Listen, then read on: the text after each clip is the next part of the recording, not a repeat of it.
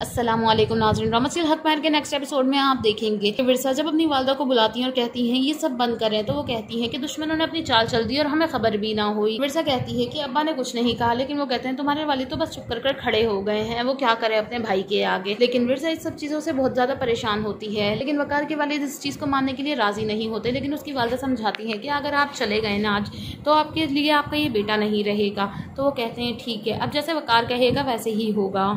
तो वकार सबके सामने कह देता है कि मैं पचास लाख रुपए हक महर मानने के लिए तैयार हूँ। इसके बाद जब उन दोनों का निकाह हो जाता है और विरसा वकार के इस फैसले से खुश हो जाती है और जैसे ही उन दोनों का निकाह हो जाता है तो विरसा वकार से कहती है कि मैं बहुत खुश हूँ। आपने इतना कॉम्प्रोमाइज़ किया।